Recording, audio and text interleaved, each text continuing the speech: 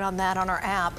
Big pushback tonight against a proposed turnpike extension planned through Norman. From City Hall up to leadership at the state capitol, lawmakers tell our Barry Mangold they either doubt or downright oppose this plan. Barry's live at the Capitol now.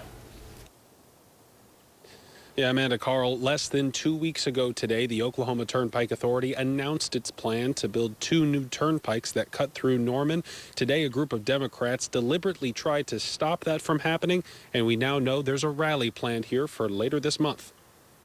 This closed door decision making process, it's not acceptable. Norman Representative Merleyn Bell speaking after an attempt to pass legislation that would halt the state's plan to expand the Kickapoo Turnpike into Norman. That attempt failing. If the OTA and the Department of Transportation had reached out before publishing this map, the public response would have surely given them pause.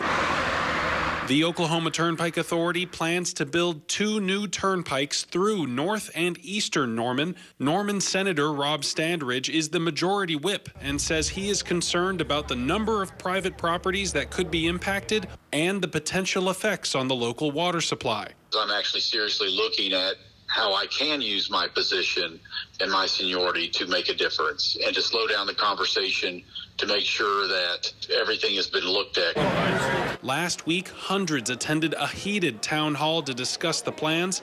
Senator Mary Boren says she's helping a group that plans to rally at the Capitol March 23rd. I wouldn't say that I am organizing a rally, but I can say that I am welcoming a rally.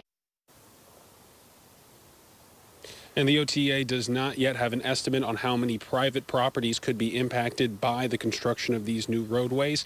It says that the design phase and environmental studies for these projects will take place later this year. Live at the Capitol, Barry Mangold, Oklahoma's Own, News 9. Okay, Barry.